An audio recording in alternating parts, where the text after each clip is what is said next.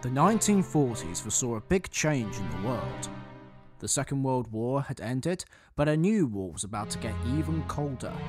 There was a change in social status for women's rights, and in general, music was changing for the better. Everyone was getting back on their feet. The 1940s will also see a great change in the railways too, as the war had taken its toll and a radical strategy had to be employed in order to get the railways back on their wheels. In the late 40s, the big four railway companies, the London and North Eastern Railway, the Great Western Railway, the London Midland and Scottish Railway, and the Southern Railway all took part in the famous locomotive exchange trials to see how well locomotives from different parts of the country would perform in different parts of the country. The trials were mostly successful, and ultimately, the Railway Board had come to the decision to unite all the big four railway companies as one whole unit British Railways. They employed a Mr. Robert Riddles as chief mechanical engineer to help rebuild the railway that was war damaged and neglected. And part of this plan was building a full range of 12 brand new steam locomotives, and this meant all the locomotive workshops were getting busy, starting to build all the new locomotives whilst at the same time rebuilding and reallocating some of the older engines. One of these workshops and locomotive sheds that was a part of this plan was the well renowned Brighton Sheds. Originally built for the London, Brighton and South Coast Railway in the late 1800s, it later became one of the biggest railway workshops on the Southern Railway in the 1920s and 30s, and now it is building new locomotives for a new generation.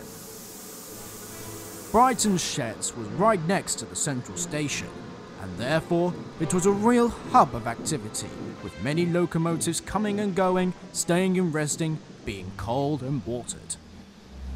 Many engines were allocated to the shed, and many were just long term visitors. And one of these engines is 222 Squadron. 222 Squadron is a large Battle of Britain class locomotive, but prefers to be called Johnny. He is a Pacific type engine designed by Oliver Bulleid and painted in a lush Brunswick green livery. He is one of the light Pacifics who runs around the south of England pulling fast express trains. Johnny is one of the younger engines at the shed, with a lot of life in him. He was only recently built in 1945, and therefore he is very eager and most of the time rather positive. But he's also an intelligent engine, having vast amounts of general knowledge thanks to his driver, who has a sister who works in television. So therefore, Johnny knows a lot about what's going on in the world, and this makes him think he knows more about the world than any of the other engines do. And in his words, the times are changing, and the more you know, the more you'll be able to keep up to speed. But Johnny is going to find out that this is not necessarily the case.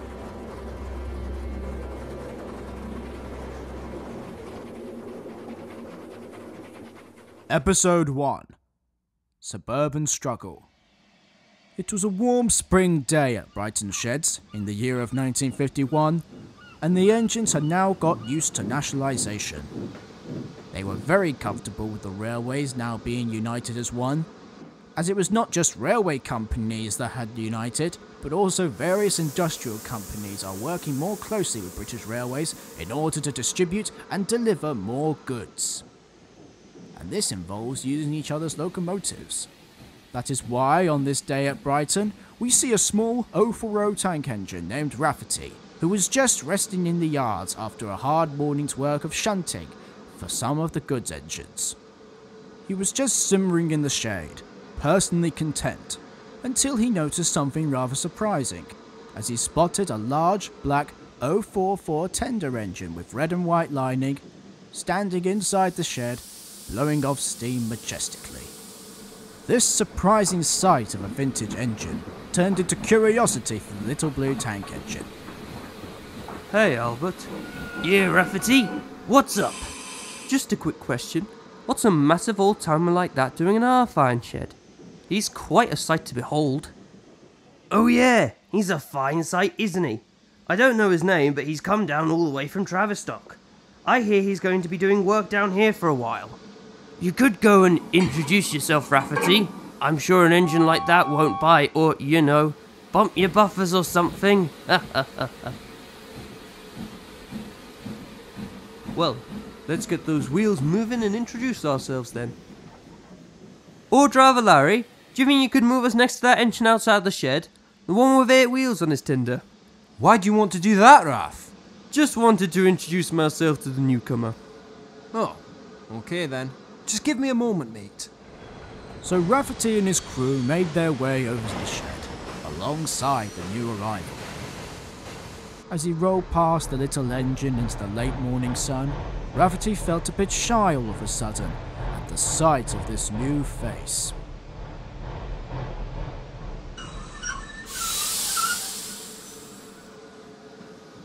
Um, hi, um, nice day. Um, I'm Rafferty. Hope you don't mind the intrusion. Not at all, my dear engine. You've made no sudden intrusions whatsoever. In fact, I've been longing to talk to someone ever since I got here. Perhaps not many of the engines here are prolific conversationists. Oh, don't worry. All the engines here love to chat, have a laugh after a good joke. I think they'll be surprised when they see you. Really? And why would they think that, Rafferty? Nice name, by the way. Well, uh, I mean, you're, you're a T9 class engine, and most other engines wouldn't expect an engine of your type to be so far down from the southwest. Sorry, I, um, I didn't catch your name, Mr. Nicholas. And thank you for asking. and you don't have to call me Mr. Rafferty. Save that sort of address for the Board of Directors of the British Transport Commission. But I absolutely understand my fellow engine. I'm pretty far from home. Literally. Yes, Tavistock. That's quite a distance to travel. But I expect that the T9s were rather fast engines back in the old days the London and South Western Railway. But I come from so far up north, I'm not really caught up with my Southern Railway history. Oh no, you're right on point there, Rafferty. We weren't exactly breaking any records back then. We were fast enough to be called the flagships of our railway, yes. Not literally, of course. But that's how it was in the old days, and a lot has changed. I had to get with the times. How shocking is that? Well, I'm glad you're here, Nicholas. It'll be nice to have an engine around who's had a few years under his wheels. You could teach the young engines a thing or two, and. Rafferty's sentence was suddenly broken off at the sound of a loud Bulleid whistle surrounding the shed.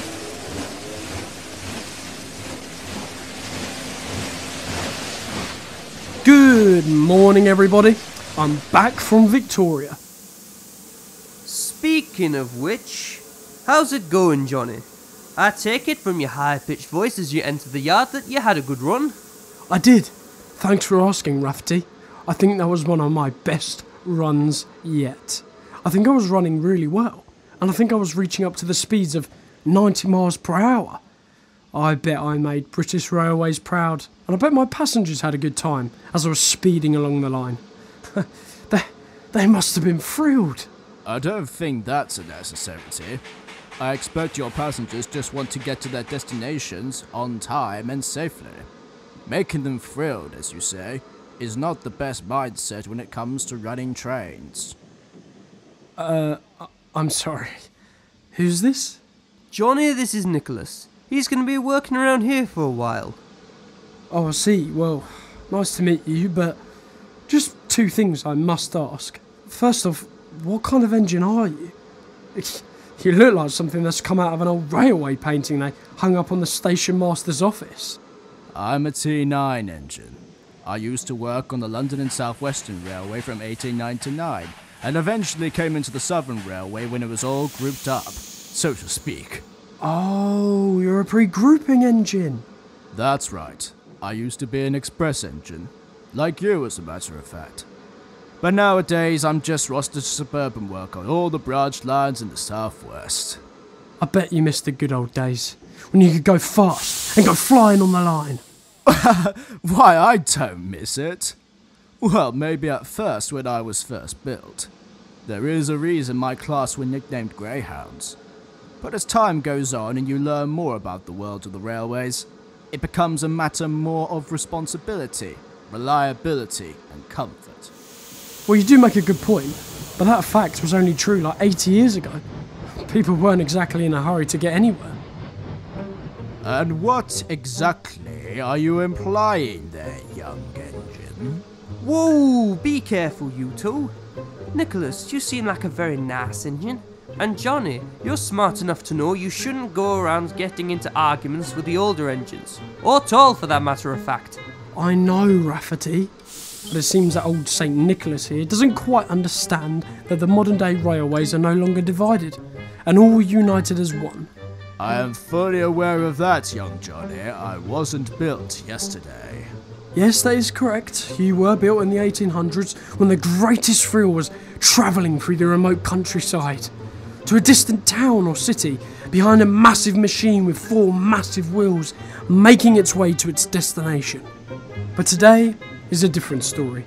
The greatest thrill that men and women can experience is to fly through the sky in massive machines with propellers. But their greatest thrill is also our greatest threat, with massive unions threatening war once again and market air travel becoming more and more competitive. The railway has to become competitive as well. So that means being faster, trying to catch the eye of our customers.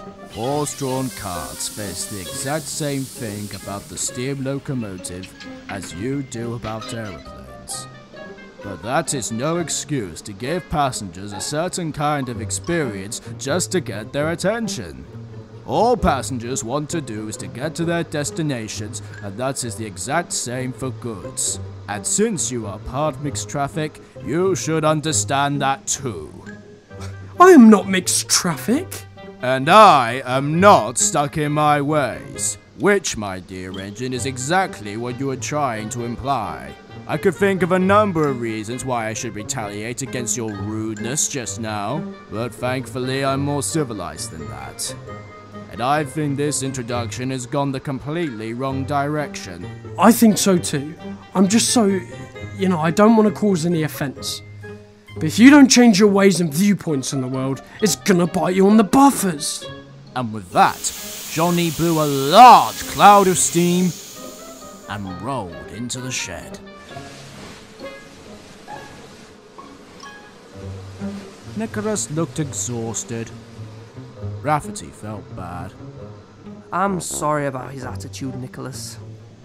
I mean, I've only known him for about five years now, and he's usually never like this with the other engines. I think sometimes he thinks he's a bit of a knowledge box. And I think you might have a thing or two for pre-grouping engines. No, that's alright, Rafferty. I've been around long enough to see far worse engines than Johnny, and those types of engines usually don't stay around for that long. But it looks like Johnny isn't going anywhere anytime soon. But he seems like a clever sort of engine to have an opinion like that.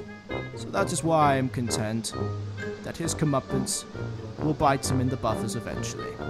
Don't you worry yourself, Rafferty. His attitude will change towards me. Oh, I really hope his attitude does change. But what Rafferty didn't realise was that Johnny and Nicholas would both get their comeuppance as a result of their own opinions. And for Nicholas especially, it was to happen sooner rather than later. Later that afternoon, Nicholas was travelling along the London to Brighton line with a suburban train comprised of three new Mark I coaches to Haywards Heath. All was going rather well. Nicholas was puffing down the line without any care in the world, passing through all the beautiful sights of the Sussex countryside along the way on his journey, giving his passengers a smooth ride. Nicholas was rather pleasant. But then. Uh, Driver Charlie, is that man holding a red flag up the line side? You know, I believe it is. Jack, quickly, prepare to stop. Oh, right! All right!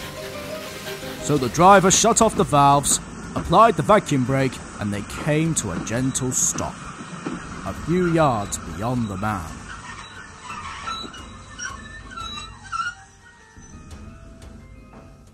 The man came up to Nicholas's cab, whilst the guard came down from his guard's van at the back of the train. Hello there, Charlie. What's going on here then? It's a bit of a complication, I'm afraid, Percy. Turns out that even though we had a splendid run, we didn't keep up to time. And according to the timekeeper over there, our path has to now pave way for a freight train. The passengers aren't going to like this. Some of the people on board have places to get to. The driver was right. The passengers were looking out of the window and shouting at them to carry on. Oi, oi! Get a move on! I have to be at a meeting soon with all the members of county! And I need to be at home in time for lunch! What on earth is the hold up? Uh, well, I do apologize. I was trying to be as efficient as I possibly could. Don't worry, Nicholas. This delay was no fault of yours. Well, whose fault is it then? I mean, there is a timetable and a schedule, and we have to be within certain paths along the line so we can keep on going. And now we've missed ours. And now. And now we've got to make up for lost time. Nicholas was right. But he also felt baffled that this could happen. But he knew he couldn't do anything about it as the freight train rolled past.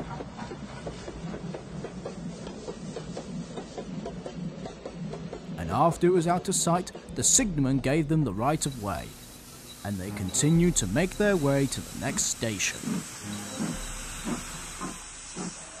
I really do hope we can make up for lost time. I really do hope so. But unfortunately, the Greyhound was still four minutes behind schedule, and so another engine was arranged to take Nicholas's place to make up for that four minutes.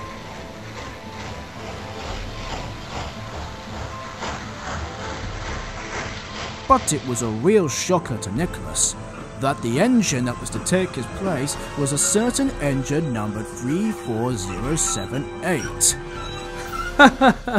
Hello there, old timer. Why, I am surprised. I was wondering if I was wrong and it wasn't about the speed and the thrill, but I'm delighted that that wasn't the case. Take my advice, Nicholas, and change your way of thinking. It's for the benefit of British Railways. Nicholas said nothing and didn't express any sort of rage whatsoever as the rather smug Battle of Britain ran around the platform and back down onto Nicholas's train.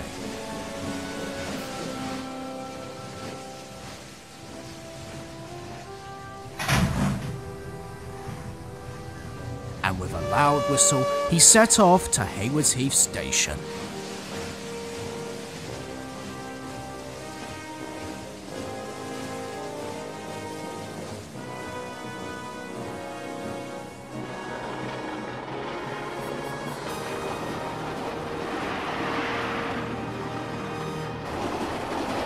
Later in the shed that night, Rafferty was once again witnessing the sight of two engines debating and causing a bit of a stir twice in the same day.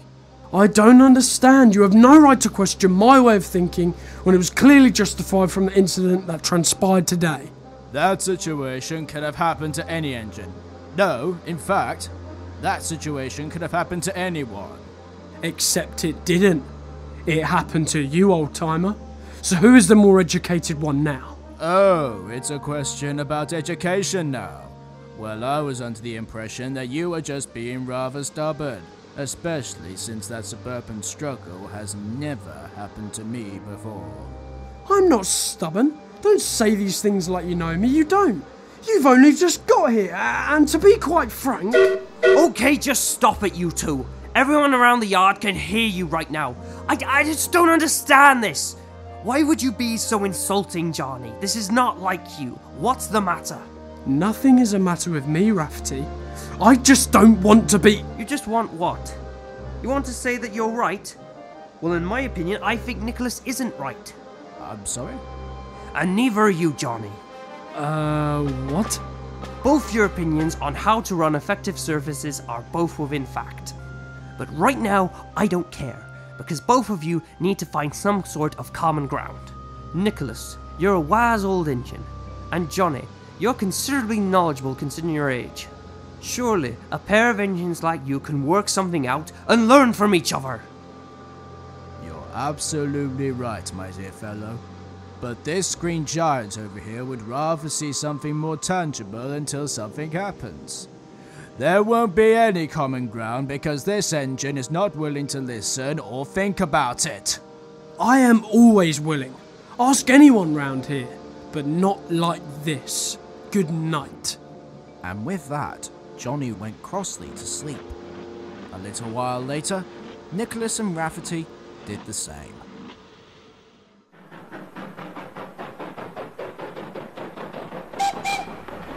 It was a much sunnier day early that morning as Johnny raced through the countryside with his early morning express. The determined engine was giving it his all, trying to not be on time, but early, just to prove to Nicholas that he was wrong. And at the speed he was going, Johnny could have easily succeeded. That was until he felt his train getting heavier and heavier. Uh, Guy, do you hear something? It sounds like screeching sounds. Like metal scratching against metal. You know, I do hear that, and oh my, sweet Brighton, look at that! The fireman went frantic and reached for the driver. There are sparks flying from the carriages. We have got to stop. Sparks? Oh, come on. Johnny was rather curious as he and his crew brought the train to a gentle standstill and went to talk with the guard. Don't worry about this, boys. One of the passengers just pulled the emergency cord, complaining about the train going too fast, causing a disturbance and headache or something. What? Well, that's never happened before. But we can still make it on time, although that stop was rather sharp. Although Johnny only said that to himself.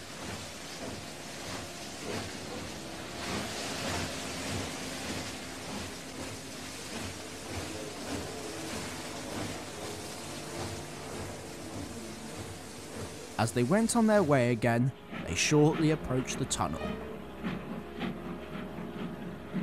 There was a frantic clanking sound underneath Johnny, and the driver brought the train once again to a standstill, a few yards short of the tunnel exit.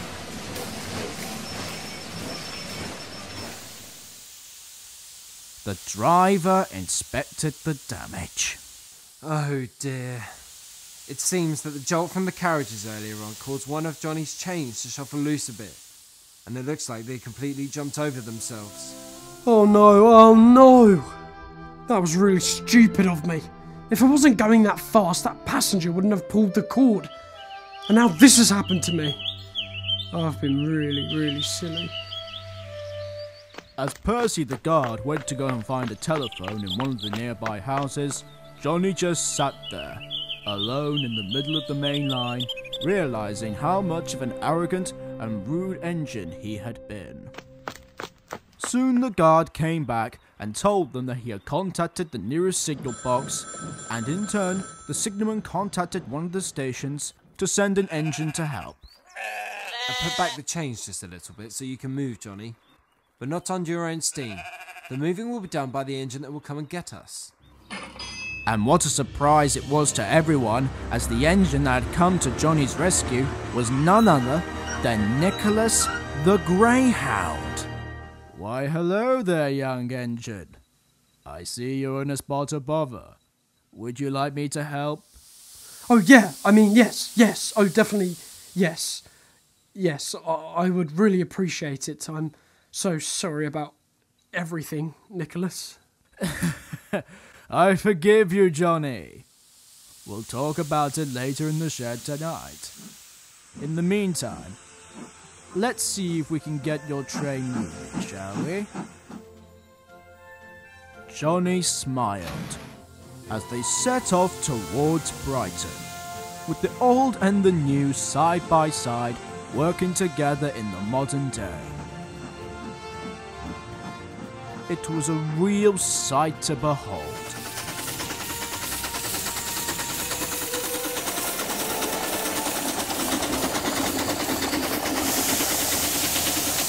That night, Nicholas lived up to his promise, and the two engines cleared the air and spoke to one another. And by the time Rafferty got back, the two of them were chatting away like old friends. So you see, I'm not a bad engine. Honestly, far from it. I was just worried that you were one of those engines so stuck in their old ways. I had no idea that you had all this wisdom to share. I'm usually not bad at judging character, but with you, I was very stubborn. That's alright, young one. You're just standing up by your beliefs. Trust me, I used to be a lot worse way back when I was your age. Really? Well, you could have fooled me. Well done, you two. Well done. Well, I think I'm really going to enjoy it here. I cannot wait to meet the other engines. Maybe even give them some of that so called parting wisdom. You're not wrong there, but you'll get to know them in time. But I'm glad that you helped me out with my own suburban struggle in a way. I do hope everything does work out. Good night, Nicholas. Good night, Johnny. But as Johnny rolled into the shed and drifted off into slumber, Rafferty saw a rather concerned look in Nicholas's face, as clearly Nicholas had an uneasy feeling about something. Because the old timer knew for a fact that British Railways was a time of change, and greater challenges for the steam engines will eventually come to pass. But that's another story. As for Johnny and Rafferty, their story was only just beginning, alongside the newest arrival to the shed Nicholas, the Greyhound.